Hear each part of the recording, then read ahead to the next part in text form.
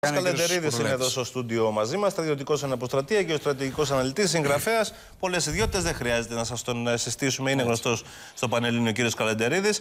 Καλό, Καλό μεσημέρι, κύριε Καλεντερίδη. Είχατε προβλέψει ότι θα γίνουν εκλογές. Ναι, ναι. Τόσο ε, νωρίς, τον Ιούνιο.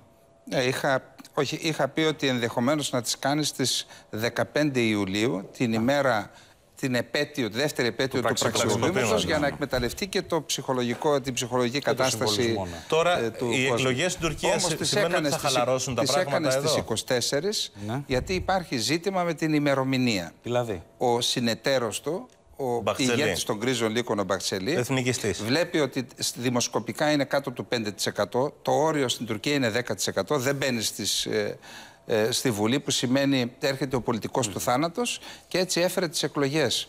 Έξι μήνες πριν από την ολοκλήρωση των ε, νομικών διαδικασιών για την νομιμοποίηση του κόμματος της Αξενέρ να, να είναι λιγότερο από έξι μήνες οι εκλογές ώστε να μην έχει δικαίωμα το κόμμα της Αξενέρ και η Αξενέρ να συμμετέχει στις εκλογές. Άρα δεν θα συμμετάσχουν στι εκλογές τώρα τη 24η Ιουνίου, έτσι; Ε, ε, ε, πριν από λίγο είδα δήλωση του κόμματος ότι θα, συμμετάσχουν, θα, θα συμμετάσχουν με κάποιο άλλο κόμμα, το Σαντέτ Παρτισί, που είναι το μητρικό κόμμα του κόμματος Δικαιοσύνης και Ανάπτυξης. Το κόμμα του Νεσμετίν Ερμπακάν, δηλαδή, ναι, συνέχεια. Ναι. Πιθανόν να συμμετάχουν ως σύμμαχοι στις βουλευτικές, ενώ η Αξενέρ πρέπει να συγκεντρώσει 100.000 υπογραφές για να συμμετέχει ως υποψήφια πρόεδρος. Πάντως ο Ερντογάν, οφείλουμε να πούμε ότι λειτουργούσε με σχέδιο και ε, δεν υπάρχουν μαντικές ικανότητες. Δεν υπάρχουν μαντικές ναι. ικανότητες. Είδα από το Σεπτέμβριο ότι κάνει κάθε μέρα δύο ε, ομιλίες σε διαφορετικούς νομούς και είχα πει εδώ και καιρό, αλλά και πρόσφατα, ότι εδώ έχουμε προεκλογική εκστρατεία, άτυπη προεκλογική εκστρατεία. Ήδη έχει ένα πλεονέκτημα ότι έχει κάνει τους 70 νομούς, είναι 81 νομοί της Τουρκίας, τους έχει πάει δύο φορές τουλάχιστον αυτό, το, αυτό καθένα, το διάστημα, ενώ οι αντίπαλοι, οι αντίπαλοι τους ναι. και η Τουρκία είναι μια μεγάλη χώρα. Θέλει ελικόπτερο για να γυρίσει ναι, όλους τους νόμους. Επίσης, οργανωτικά είναι μπροστά από όλα τα κόμματα. Ε, γι' αυτό έκανε και τις εκλογές. Και έκανε τις εκλογές. Ναι, υπάρχουν ε, και άλλοι λόγοι. Αυτό τι σημαίνει στα ελληνοτουρκικά; Είναι καλύτερο για εμά που θα νωρίτερα εκλογές ναι. για να μην πάμε σε σκηνικό έντασης μέχρι το 19. Αν επιτρέπετε ένα λεπτό να, να, να ολοκληρώσω ναι. για το θέμα. Τι, ε, ποιοι ήταν οι λόγοι που τον όθησαν; Ε, ε, υπάρχει μια λέξη που λέγεται αδιέξοδα. Μια σειρά από αδιέξοδα στην οικονομία, στις σχέσεις του με τις ΗΠΑ και με το ΝΑΤΟ, mm -hmm. ε, με τους Κούρδους, έχει φυλακίσει το μισό κόμμα, αλλά παρόλα αυτά είναι πάνω από 10% φαίνεται το κουρδικό, κόμμα, που είναι μια απειλή, ε, θεωρείται μια απειλή για την ενότητα και την ακαιρεότητα της Τουρκίας. Υπάρχει επίσης αδιέξοδο και σε ε, ζητήματα αυτό που είπαμε με τον συνεταίρο του ότι θα μείνει εκτός της ε, Βουλής και έτσι είχε, του, έλειπαν, του έλειπε και ένα 4-5% που δημοσκοπικά το αναπλήρωσε με την εισβολή στο Αφρίν και θεώρησε ότι τώρα πρέπει να κάνει τις εκλογές. Είναι περίοδος. Ναι, γιατί υπάρχει και μια άλλη προβολή στους επόμενους 12 μήνες ότι η τουρκική οικονομία θα συνεχίσει η, ε, η, η καθοδική της πορεία. Η ύφεση δηλαδή. Η ύφεση που θα ε, αντικατοπτρίζεται αυτό με πιο εμφανή τρόπο στα πορτοφόλια των ψηφοφόρων. Άρα, και ξέρετε, όλοι οι ψηφοφόροι σε όλο τον κόσμο. Σε εμάς αυτό ναι. τι αντίκτυπο έχει; θα συνεχιστεί η προκλητικότητα εδώ... ή θα ηρεμήσουν τα πράγματα; Ναι, επειδή ε, δεν θέλω να έχω κι άλλους αντιπάλους, έχω αρκετούς. Ειλικρινά με ε, λύπησε σήμερα η εικόνα των πρωτοσέλιδων του ελληνικού τύπου. Και αυτό δεν έχει να κάνει τόσο με τους δημοσιογράφους όλο, όσο με την αντίληψη και την ανάλυση που υπάρχει στο κράτος ότι αυτές τις 66 μέρες θα έχουμε ένα πολεμικό κλίμα με την Τουρκία. Για να βγάλουμε αυτό το συμπεράσμα, πρέπει, το συμπέρασμα πρέπει να έχουμε στοιχεία. Δηλαδή, στα τουρκικά μέσα μαζικής ενημέρωσης δεν παίζει πουθενά η Ελλάδα. Με, υπό ποια έννοια λοιπόν θα τζογάρει ο Ερντογάν στην Ελλάδα για να πάρει ψήφους εθνικιστικούς ή πατριωτικούς στην Τουρκία; Δεν υπάρχει τέτοιο ζήτημα.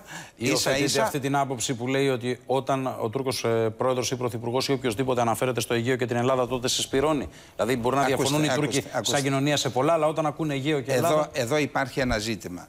Ε, στην Ελλάδα για δεκαετίες, δεν αναφέρομαι σε τώρα, υπάρχει η θεωρία, το σενάριο ε, της εξαγωγής κρίσης ή αυτό που λέτε ναι, της ναι. συσπήρωσης. Δεν δείξτε μου μία κρίση από το 1974 και μετά που να έγινε για λόγους είτε εσωτερικής κατανάλωσης είτε εξαγωγής της κρίσης. Καμία. Όλες οι ελληνοτουρκικές κρίσεις έχουν πολιτικό σχεδιασμό σχεδιάζονται, ποιο είναι ο πολιτικός στόχος και μετά εξάγεται η κρίση, ξεσπάει η κρίση, φτάνουν τα πράγματα στο προχώρητο και η Τουρκία πετυχαίνει ή δεν πετυχαίνει κάποιο πολιτικό στόχο που έθεσε. Δεν υπάρχει τέτοιο ζήτημα λοιπόν. Δεν έχουμε στοιχεία να μιλάμε ότι θα τζογάρει και θα κάνει μία ε, ένα θερμό επεισόδιο που τα ακούμε τώρα έξι μήνες τώρα αυτό το πράγμα, για να μην πω περισσότερο. Άρα, ηρεμία στα ελληνοτουρκικά Καλά, και δεν λέμε ηρεμία. Κύριε Καλεντερίδη, μισό λεπτό. Δεν λέμε έχουμε, ηρεμία. Μισό λεπτό. Ναι. Έχουμε και, ενδει, έχουμε και ενδείξεις και αποδείξεις ότι ε, ε, ψάχνονται οι Τούρκοι. Έγινε ο εμβολισμός του σκάφους. Έχουν γίνει πολλά επεισόδια. Ακούστε, δεν θα ήθελα και θέλω να το σεβαστείτε να αναφερθώ για ποιο λόγο έχουν γίνει όλα αυτά. Ποιος ήρξατο χείρον αδίκων. Δεν θέλω να αναφερθώ. Τι εννοείτε. Θέλω να το σεβαστείτε. Δεν θέλω να αναφερθώ. Πάντως, θέλω να πω το εξή. Δεν είναι αυτός ο λόγος, λέτε. Θέλω να πω το εξής. Άρα η... δεν ψάχνονται οι Τούρκοι. Η στάση της του... Ακούστε, ακούστε, ακούστε.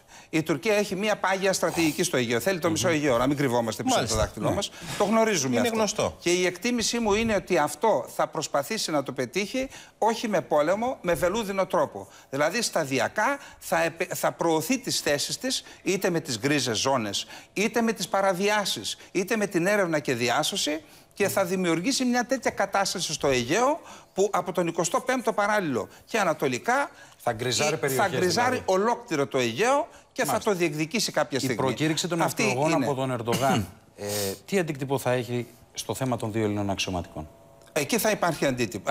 αντίκτυπο. Χθες δηλαδή. ο αντιπρόεδρος της τουρκικής κυβέρνησης πλέον το έθεσε επί τη βάση της αμοιβαιότητας. Είπε, εφόσον η ελληνική δικαιοσύνη συμπεριφέρεται έτσι στα ζητήματα, ειδικά των 8 ανακοίνωσε ο, ο Υπουργός Δικαιοσύνης ότι θα αφαιθούν ελεύθεροι, ο, Υπου, ο Έλληνας Υπουργός Δικαιοσύνης αν, ανέφερε ποια είναι η πρόνοια του νόμου. Δεν προδίκασε την, κάποια απόφαση mm -hmm. τη δικαιοσύνης. Αυτό ο Τούρκος το εξέλαβε ως πολιτική παρέμβαση στην επέμβαση στην ελληνική δικαιοσύνη. Άρα λέει η ελληνική δικαιοσύνη είναι χειραγωγημένη. Με τον ίδιο τρόπο και εμείς λέμε λοιπόν, όταν κάνετε εσείς αυτό, θα λειτουργήσουμε στη βάση της αμοιβαιότητας. Τι λοιπόν πιστεύω; Καταρχάς να ξεκαθαρίσω. Δεν έγινε κανένα επεισόδιο στον Εύρο. Ένα συμβάν ήταν, απλούστατο, έπρεπε να λυθεί αυθημερών σε λίγες ώρες. Οι Τούρκοι το εκμεταλλεύτηκαν. Προσπαθούν λοιπόν να το εργαλειοποιήσουν για να πετύχουν πολιτικούς στόχους, είτε με τους 8 είτε κάτι άλλο. Και θα ήθελα να πω ότι αυτό που είδα χθες στο Ευρωκοινοβούλιο να εκφράζουν ξεκάθαρες θέσεις οι ευρωβουλευτές για το ζήτημα αυτό που ήταν πραγματικά και δίκαιες είναι και ένας οδηγός για την Ελλάδα να προσπαθήσει να εκμεταλλευτεί τα διεθνή φόρουμ και τους διεθνείς οργανισμούς. Και πιστεύω ότι αν ασκηθεί πίεση στην ε, Τουρκία ότι αυτό θα επηρεάσει θετικά την εξέλιξη Άρα των μέχρι δύο. Τις εκλογές θα, α... Μέχρι, μέχρι τις εκλογές, από τη στιγμή που πολιτικοποίησε χθες ο αντιπρόεδρος της Τουρκίας, εκτιμώ ότι δεν θα έχουμε εξελίξεις. Πάντως, η εκτίμησή μου είναι η εξής ότι ακόμα και Τούρκος δικαστής, χειραγωγημένος απόλυτα από το τουρκικό κράτος, είναι τόσο απλή η υπόθεση των δύο, που δεν μπορεί να απαγγείλει κατηγορία. Δεν υπάρχουν στοιχεία. Γιατί είδα για τον Αμερικανό που αναφέρονται τον ορισμένοι, Μπάστορα, τον ναι. Μπάστορα. Εκεί οι Τούρκοι ελέγχουν την, τις, που είχε, ε, ποιες περιοχές είχε επισκεφθεί τα δύο τελευταία χρόνια, κάνουν διασταυρώσεις από τους ε, σταθμούς που εκπέμπουν οι κεραίες και όντως εκεί μπορούν να επικαλεστούν ότι εδώ ε, ακόμα εξετάζουμε στοιχεία. Τι να πούν για τους δύο που πέρασαν για 10 λεπτά στο τουρκικό έδαφος. Που έχουν εξετάσει και, και τα πάντα. Εντάξει, δεν υπάρχει τέτοιο ζήτημα. Πάντως, Ναι. να το ξαναπώ, μέχρι τις εκλογές ο Ερντογάν δεν, εκτός και αν δεν λειτουργεί με βάση τη λογική και το τουρκικό κράτος. Δεν υπάρχει καμία λογική να προκαλέσει με δικιά του πρωτοβουλία μια κρίση που θα οδηγήσει σε θερμό επεισόδιο, γιατί κανείς δεν μπορεί να του προεξοφλήσει ότι αυτό το θερμό επεισόδιο θα έχει θετική εξ- κατάληξη για τον ίδιο και Ή αρνητική, αρνητική. για την Ελλάδα. Μάλιστα. Και αν έχει αρνητική για τον ίδιο, τότε αυτό θα σημαίνει και τον πολιτικό του θάνατο. Εκτός και αν πίσω από κάποια κρίση κρύβεται μια μεγάλη χώρα όπως συμβον- συνέβαινε στις περισσότερες κρίσεις που είχαμε τώρα τα τελευταία χρόνια στις ελληνοτουρκικές κρίσεις ή ακόμα και στις δύο εισβολές που έκανε η Τουρκία στη Συρία είχε από πίσω της τη στήριξη μιας μεγάλης χώρας και αναφέρομαι στη Ρωσία. Γεια σας κύριε Να είστε Καλαντερίδη. καλά, κύριε Ευχαριστούμε Καλαντερίδη. πολύ. Ευχαριστούμε Σύντομο πάρα πολύ. διαφημιστικό Εγώ διάλειμμα. ευχαριστώ. Επιστρέφουμε με τον ε, Υφυπουργό Ναυτιλίας, τον κύριο Σαντορίνιο.